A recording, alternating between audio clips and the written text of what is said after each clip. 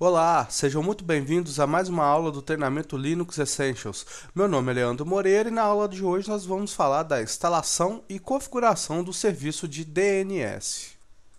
Vou passar para vocês agora um vídeo do NICBR, que é uma entidade civil sem fins lucrativos que tem as funções administrativas e operacionais relativas ao domínio BR. Esse vídeo vai ilustrar exatamente o que é um DNS, o que são root service e como funciona a resolução de nomes. Vamos lá! Você talvez saiba o número do seu RG de cor, sabe o número da sua casa, o número do seu telefone e o de alguns amigos. O restante provavelmente você anota em algum lugar e consulta quando precisa. Poucos conseguem guardar de memória dezenas ou centenas de números diferentes. Imagine se na internet você tivesse que saber os endereços numéricos, os IPs, de cada site que você acessa ou de cada pessoa para quem você envia um e-mail. Esta é a terceira parte do vídeo Como funciona a internet, feito pelo NICBR. Nos vídeos anteriores você conheceu a Patrícia, um usuário internet, e entendeu junto com ela o que são os IPs, os sistemas autônomos, os PTTs e BGP. Você já sabe como a informação viaja na internet. Vamos entender agora como os nomes dos sites e os endereços de e-mail entram nessa história. A Patrícia nunca teve que digitar um único endereço IP para acessar alguma coisa na internet, mas ela conhece muito bem nomes como www.nic.br. Endereços numéricos são excelentes para os computadores e outros dispositivos eletrônicos, mas são difíceis de memorizar para nós, seres humanos. Por isso, a internet usa o Sistema de Nomes de Domínios, ou DNS. DNS é apenas uma grande tabela que mapeia nomes fáceis de lembrar em endereços IP, que são usados efetivamente para fazer a informação ir de um lado para o outro. Mas essa tabela é grande, grande mesmo. Só de nomes brasileiros, os .br, temos em 2014 mais de 3 milhões. Para funcionar bem, essa tabela é dividida e distribuída entre muitos e muitos servidores na internet. O DNS, na verdade, é um sistema distribuído e hierárquico. Temos para começar os servidores raiz, que têm as informações sobre as principais partes em que é dividida essa tabela, esse sistema de nomes, os domínios de primeiro nível. Há dois tipos de domínios de primeiro nível: os que usam as siglas que representam os países, chamados de CCTLDs, ou Country Code Top Level Domains. São os nomes que terminam por .br para o Brasil, .pt para Portugal, etc. Há também os genéricos, que não são vinculados a países específicos, como os .com, .org ou .info. São chamados de GTLDs, ou Generic Top Level Domains. Há um conjunto de servidores na internet cuidando de cada um desses domínios de primeiro nível. Eles conhecem todas as informações relevantes sobre eles, por isso são chamados de autoritativos. Se a Patrícia quiser, ela pode ter um nome de domínio só dela na internet. Ela é bióloga, então uma boa opção seria patricia.bio.br. Para fazer isso, um técnico terá que configurar um servidor em algum lugar da rede, dizendo para que endereço IP esse nome apontará. Não é o servidor do site onde ela vai hospedar seu blog, nem um servidor que cuidará dos seus e-mails. Estamos falando do servidor DNS é justamente ele quem terá a informação dos IPs do servidor web e de e-mail da Patrícia. Esse também será um servidor autoritativo. Os computadores dos usuários utilizam um componente chamado Resolver, que consulta um servidor chamado de recursivo, geralmente disponibilizado pelo provedor internet. Os servidores recursivos consultam toda a árvore de servidores autoritativos, começando da raiz, para encontrar as informações de um determinado nome. Vamos tentar entender. Quando alguém digita no navegador o endereço www.patricia.bio.br, o navegador enviará essa questão ao sistema de DNS do computador, ou seja, para o resolver. Este encaminhará para o servidor recursivo, que normalmente está no provedor, perguntará: quem é www.patricia.bio.br? Servidor recursivo atende a diversos usuários diferentes e algumas vezes pode já ter respondido essa mesma pergunta anteriormente e lembrar da resposta. Nesse caso, responderia de pronto, mas dessa vez não é o caso. O servidor recursivo não sabe a resposta e tem que descobri-la. Ele vai primeiramente a um dos servidores raiz, o 2001, 2.503, 2.BA3E, 2.2.2, 2.30. Você pode estar estranhando esse endereço enorme, mas o servidor recursivo não. Ele conhece bem os endereços de todos os servidores raiz, porque afinal, esse é o trabalho dele. Ele foi configurado para isso. Ele pergunta ao raiz: quem é www.patricia.bio.br? Lembre-se de que os servidores raiz não sabem isso. Eles conhecem apenas os domínios principais, os domínios de primeiro nível. o servidor raiz responderá algo como: Não faço a menor ideia de quem seja www.patricia.bio.br, mas eu conheço o servidor autoritativo do .br. O endereço dele é o 2001 2.12ff 2.2.10. Pergunte a ele,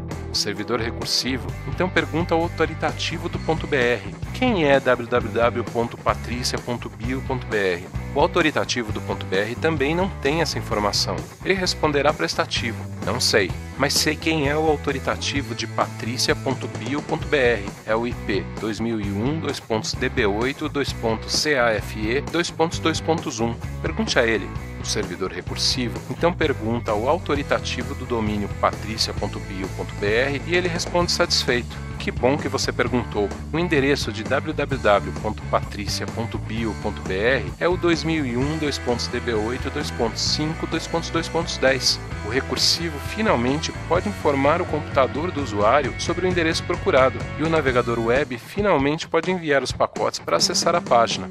É isso que acontece todas as vezes que acessamos uma página web ou enviamos um e-mail. Os nomes que usamos são sempre traduzidos para endereços por meio de consultas a diversos servidores do DNS. Na verdade, quando você usa o registro.br e cria um nome .br para você ou para sua empresa, o servidor autoritativo para o seu domínio já está incluído no serviço. Isso nem sempre é verdade, por exemplo, para serviços que permitem o registro de domínios genéricos, como .info ou .com. Vale dizer também que com o domínio .br você ajuda a financiar muitas atividades e projetos do Comitê Gestor da Internet no Brasil e do NICBR, que beneficiam de diversas formas a internet no país. A Patrícia ficou bem contente por entender um pouco mais sobre como a internet funciona e acha que isso vai ajudá-la a utilizar a rede de uma forma ainda melhor. Espero que tenha sido útil para você também. O que está deixando ela intrigada agora é como tudo isso é controlado, quem define esses protocolos, quem coordena o sistema de nomes, quem controla os números IP, como o estudo surgiu e quem está cuidando para que continue tudo funcionando e evoluindo.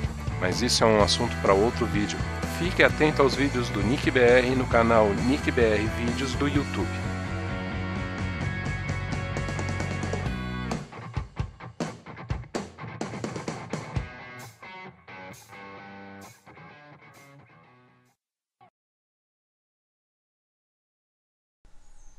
O que é o Segarroot? O Segarroot também é conhecido como jaula. É um sistema dentro do outro que compartilham processos. É um ambiente recomendável para sistemas de acesso público. Tá? Isso é definido pela norma A da ABNT, a NBR ISO IEC 27002 de 2005. E nela é definido que sistemas sensíveis devem ter um ambiente computacional dedicado, ou seja, isolado. Isso impede que, se um possível atacante tiver acesso ao servidor, ele ficará preso dentro do CHRoot. Ele não ter, terá acesso ao servidor como um todo. Tá? Isso é uma questão de segurança para serviços que funcionam, é, vamos dizer, como a gente define na gíria, de cara para o vento, ou seja, estão para a internet. Isso funciona com o DNS, com Apache e muitos outros serviços que têm exposição direta para a internet. Agora que vocês já entenderam os conceitos básicos de resolução de nome, é, o funcionamento do DNS e o que, que é a root service e como eles funcionam, nós vamos tratar da instalação do serviço. No Debian, ele, o serviço de DNS chama-se Bind 9, no CentOS chama-se Named. Tá?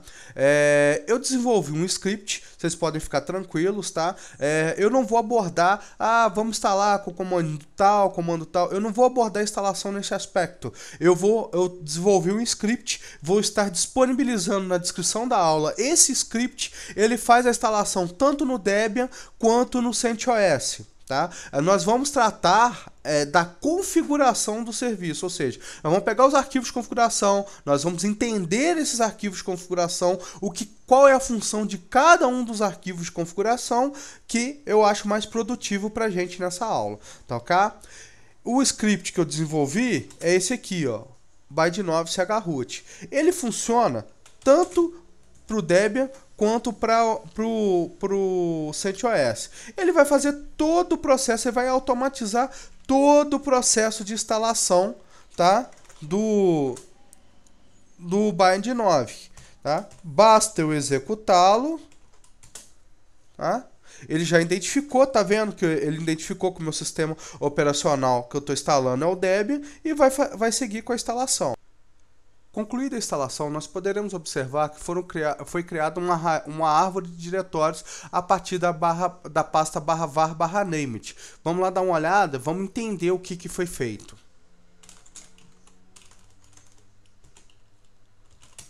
Foram criados três diretórios, um barra, de, um barra var named dev, um barra var named etc e um barra var named var. Dentro do barra var eu tenho os arquivos de PIT e o arquivo de chave do DNS. Tá? Dentro do barra dev eu tenho dois devices que foram criados com o objetivo de fechar a jaula. Eles são os responsáveis por trancar a porta. Tá? E dentro do etc ficam os arquivos de configuração do meu do meu do meu do meu processo, do meu bind. Tá? Vamos, vamos acessar essa pasta. Tá? Bind.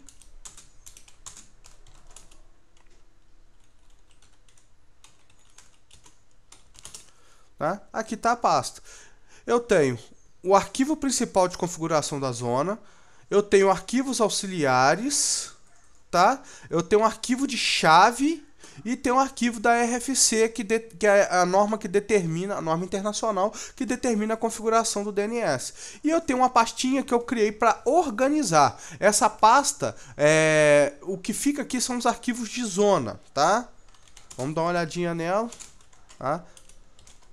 Eu migrei os arquivos defaults, que são o DB0, o DB127, o DB255, o DB empty, o DB local e o DB root para dentro desse arquivo. E eu criei aqui dentro dois arquivos, o DB Leandro Moreira TI .com.br e o db leandro moreira ti.com.br. O db leandro moreira ti.com.br .com.br, lembrando só da, da, do vídeo do Nick BR, é o arquivo de zona direta, ou seja, quando eu digitar leandromoreirati.com.br, ele que vai fazer é, dizer que aquele nome tem o IP tal. E o arquivo reverso faz exatamente o caminho contrário. Ok? Então tá, primeiro a gente vai verificar o arquivo de zona e vamos entendê-lo. Tá? Vamos entender o arquivo de configuração. Bom, eu tenho aqui o named.conf. Esse cara é o responsável, tá? Por fazer a configuração da zona de DNS. Toda a zona que eu criar dentro do meu servidor de DNS, obrigatoriamente tem que estar tá explícita nesse arquivo. Por exemplo, eu criei aqui a minha zona leandromoreirati.com.br. Eu estou dizendo que ela é uma zona do tipo master, eu tenho zona master e tenho zona slave. Slave é quando eu tenho um, DNS, um servidor de DNS primário e um, um, servidor de DNS secundário. É uma configuração, tá? Que eu vou colocar para vocês numa aula extra, tá? Como criar um, um servidor de DNS é, secundário e como fazer transferência de zona. Isso vai ficar numa aula extra que eu vou deixar em separado tá? E aqui é onde fica o meu arquivo de configuração da zona, tá? db esse caminho aqui, ó, barra var name de etc by de zone dbleandromoreira.ti.com.br. Aqui fica o meu arquivo de pesquisa direta. Aqui, logo abaixo, a gente pode ver o meu arquivo de reverso. Ele fica no mesmo caminho, só que é um arquivo com nome diferente. E aqui principal, o principal, tá? Eu digo que a zona 0192, ó, 0.168.192.in-addr ARPA, ela é do tipo master, tá? E ela tem esse arquivo de configuração. Por que isso? Eu estou dizendo que tudo que for pesquisado diretamente com esse nome vai ser retornado inversamente com esse nome. Vai ser direcionado para esse arquivo aqui. Tá ok? Beleza. Agora nós vamos partir para os dois arquivos de zona.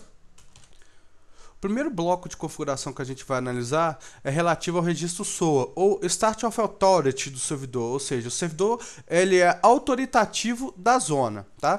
A gente pode observar que ele tem um abre, ele abre um parêntese e fecha um parêntese. E dentro dele tem alguns parâmetros de configuração que a gente vai detalhar agora cada o primeiro parâmetro é relativo ao serial. O serial indica para, root, para os root servers se houve alguma alteração na configuração da zona, portanto, toda alteração da zona deve ser acompanhada de uma alteração no serial. Para que isso? O, de tempos em tempos, os root servers vêm consultar a, nossa, a, a zona do nosso servidor para ver se ela tem uma, se ela sofreu alguma alteração. E com base em que, que ele usa para saber se teve ou não. Ele pega o serial que ele tem versus o serial da zona e compara. Se os dois estão equivalentes, ou seja, tem o mesmo valor, não houve alteração. Se houve alguma alteração, ele é, o serial está diferente, tá? Nesse, o número do serial está diferente, e aí ele requisita ao servidor, olha, me manda a cópia atualizada da sua zona. O refresh indica o tempo que o servidor secundário deve contactar o servidor primário para verificar se houve alguma mudança na zona. Esse valor é expresso em segundos. No nosso exemplo, ele vai fazer o contato com o servidor, o primário contacta o secundário, o secundário contacta o primário, perdão, a cada 8 horas. Retry. Retry indica o tempo ou quanto tempo o servidor secundário deve aguardar para tentar contactar o servidor primário novamente em caso de falha. Ou seja, eu tentei contactar ele agora, não consegui, eu vou aguardar um mais um período X de tempo para tentar novamente. Nesse caso aqui, é expresso também em segundos, tá? E são duas horas, ou seja, a cada duas horas, se houve uma falha de duas em duas horas, eu vou tentar contactar novamente o meu servidor primário. Caso o servidor secundário não contacte o servidor primário em até 30 dias, esse valor que está expresso aí é em segundos e corresponde a 30 dias, tá? Para você ver o valor correto, você multiplica uma hora, que é 3.600 segundos, por 24 são o número de horas que tem num dia, e depois multiplica por 30 que você vai chegar nesse valor, tá? O servidor então desiste de contactar o servidor primário e expira todos os dados relativos ao domínio cujo o servidor primário está fora do ar. Todos os arquivos relativos à zona inspirada serão apagados e deste momento em diante o servidor secundário não mais responde sobre esse domínio. Ou seja, se ele tentar durante 30 dias contactar o servidor primário e não conseguir, o servidor literalmente morre, o servidor secundário. Default ETL. Tempo em que as informações de zonas de nosso domínio ficam armazenadas no cache dos servidores que solicitam essa informação. Em nosso exemplo, ele fica disponível por 5 minutos. A informação então é expirada e deve ser obtida novamente nos servidores de DNS da leandromoreira.ti.com.br. Olha só, pessoal, isso é um valor polêmico, tá? Por quê? Tem gente que coloca 24 horas, tem gente que coloca uma semana, tem gente que coloca 3 horas, tem gente que coloca 15 minutos. Eu coloco 10 minutos, 5 minutos ou até menos no meu servidor. Por quê? Porque as zonas são muito dinâmicas. Se você tem muita alteração na zona e você coloca ali 300, se você coloca ali 24 horas, o que, que acontece? O cache dos servidores que já fizeram consulta no seu servidor, eles vão ficar lá armazenados por 24 horas. E se é alguma coisa crítica para o seu negócio e você inseriu um subdomínio novo ou alterou IP de um subdomínio existente, os servidores podem demorar até 24 horas para contactar. Por isso, quanto menor o TTL do seu servidor, menor é o tempo de atualização. Lembrando que se você coloca a, a, a, faz uma alteração na sua zona, em até 15 minutos o registro BR já fez já veio buscar essa alteração.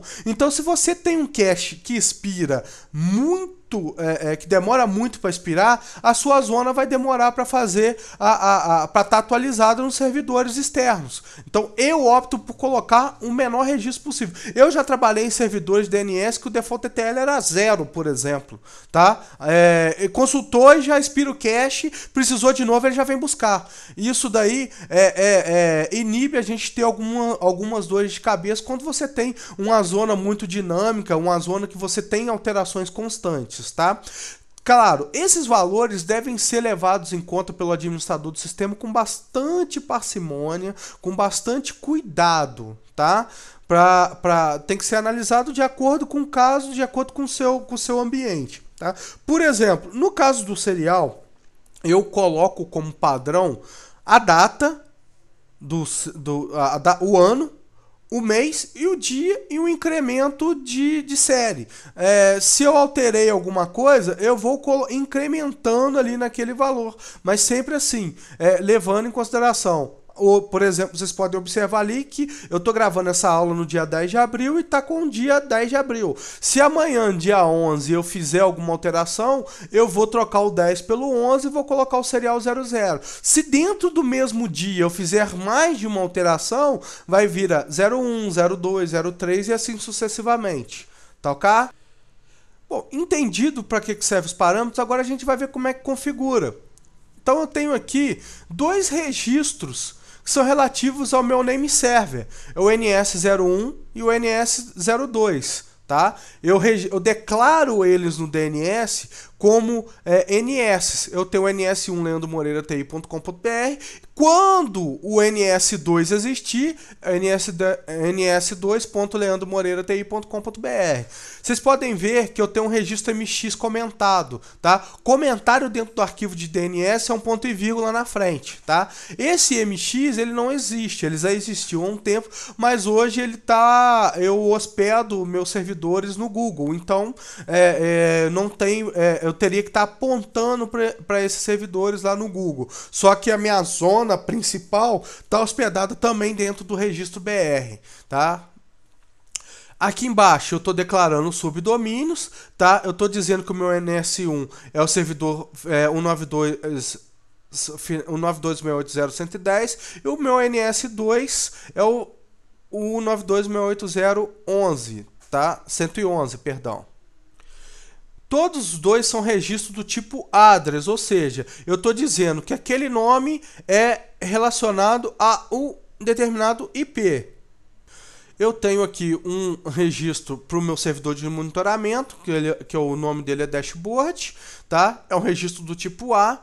Ah, mas e aí? Eu quero colocar um apelido para o dashboard. Vamos fazer aqui em, em, em, ao vivo, tá? Vamos fazer aqui em tempo real. Eu quero dizer que o, o dashboard.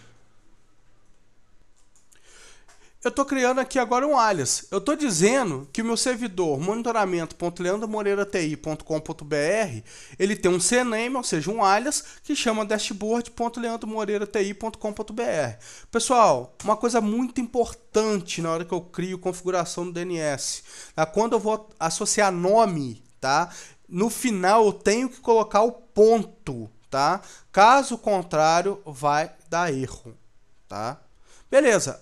Isso aqui é a configuração de uma zona. Eu criei a zona, eu estou definindo os parâmetros de configuração dela, defini os servidores de DNS, que é os name servers, tá? Eu estou definindo os registros A, ou seja, estou associando um nome a um determinado IP e eu criei um CNAME. Agora, para completar, eu vou trabalhar o meu arquivo reverso. Eu tenho algumas padronizações, como eu já disse anteriormente. Eu, o arquivo de zona direta ele tem o nome DB, que é para indicar que é uma database, né? database do DNS, tá? com o nome da zona. O arquivo reverso segue o mesmo nome, só que com um tracinho rev. Por quê? Rev de reverso, tá? Isso é uma padronização minha, tá? Para facilitar o meu entendimento de quem trabalha comigo. Quem mexe nos meus servidores sabe, já, tem, já conhece o meu padrão e sabe como eu trabalho. Beleza. Agora a gente vai ver o arquivo de zona reversa. Então, a gente pode observar que ele tem os mesmos parâmetros de configuração de registro SOA que a gente viu na zona direta. Serial, refresh, retry, expire e, e default. Eu, por padrão, mantenho sempre o mesmo serial na zona direta e na zona reversa, tá? O que, que o arquivo reverso faz? Ele o, o arquivo de, de zona direta ele converte nomes em IPs. O, o, zona, o arquivo de zona reversa converte IPs em nomes.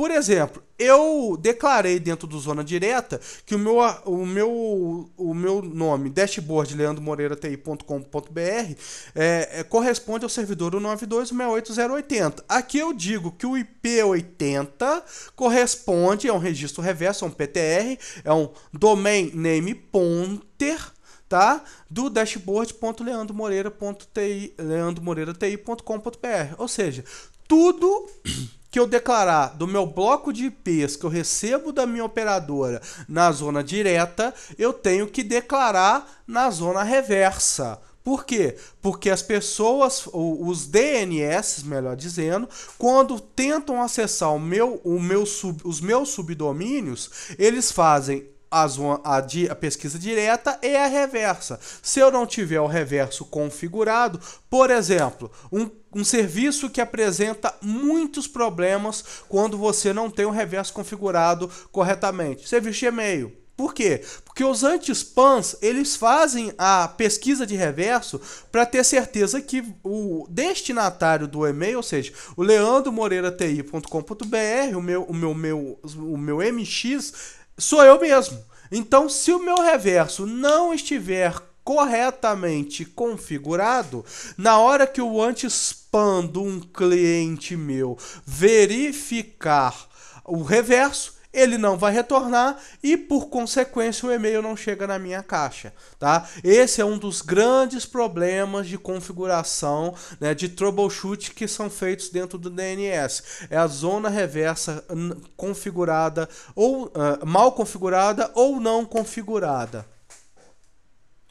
Bom, depois que eu configurei minha zona direta, minha zona reversa, eu tenho que verificar se essas configurações estão corretas. Como é que eu faço para poder checar? O Named, quando eu instalo ele, ele tem um, um, um bind, ele tem um pacote que chama bind utils tá? E que vem com alguns comandos que fazem essa verificação.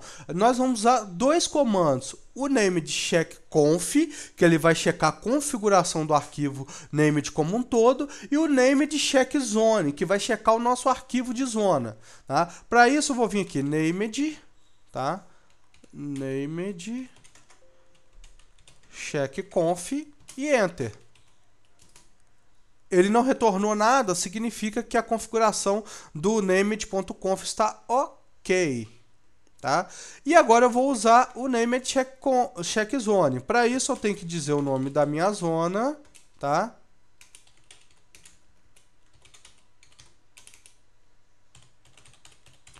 E apontar o arquivo de zona. Beleza, ele deu, tá tudo ok. Agora, para tudo funcionar, é só eu restartar o serviço. Restart bind 9.service. Eu quero saber se está tudo ok mesmo, então eu vou dar um tail no meu arquivo de log. Beleza, subiu a zona, carregou, o serial está correto, está tudo rodando perfeitamente. Agora, nós vamos, vamos... Ele checou, tá? Ele fez o restart, fez o restart do meu arquivo de zona, tá lá, carregou, releu a zona, tá tudo funcionando corretamente. Meu DNS está no ar. Como é que eu faço para testar? Tá? Eu vou pegar aqui uma máquina que eu deixei para teste. Ah, não é essa aqui não.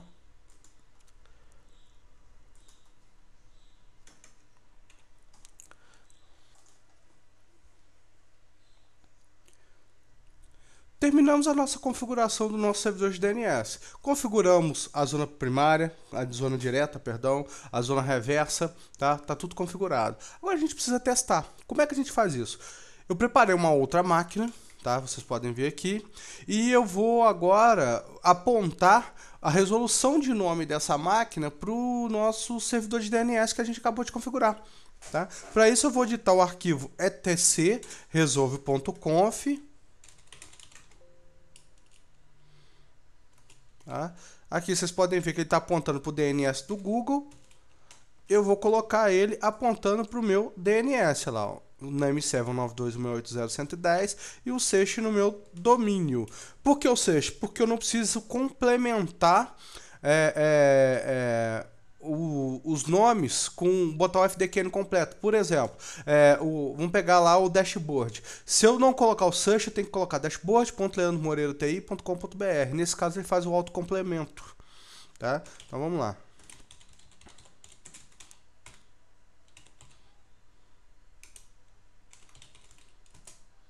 Bingo lá, certinho.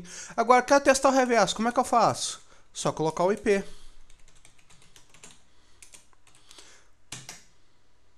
Olha lá. Olha o nome que ele trouxe para o reverso. Certinho, nosso DNS está configurado corretamente, pronto para uso. Bom, nós vamos falar agora na melhoria da segurança do nosso servidor. A gente já fez a instalação do Bind em chroot, que já é um grande passo é, é, para a segurança. Né? Caso o servidor de DNS, por algum bug, alguma falha no serviço, ele sofra algum ataque, quem, quem, ou alguma invasão, melhor dizendo, quem invadir vai ficar restrito àquelas pastas ali que foram determinadas durante a criação do chroot. Ponto. Agora, a gente vai fazer algumas configurações de segurança que vão fazer, vão melhorar o, o, o trânsito de, de dados do DNS. Como, por exemplo, eu vou vir aqui no meu arquivo name.conf, tá? Vocês podem observar aqui que eu deixei duas flags, duas linhas configuradas, o Allow Transfer e o Allow Query. O Allow Transfer permite a transferência de zona entre servidores confiáveis e isso inibe alguns tipos de ataque, principalmente se for um ataque do tipo de negação de serviço ou DDoS tá?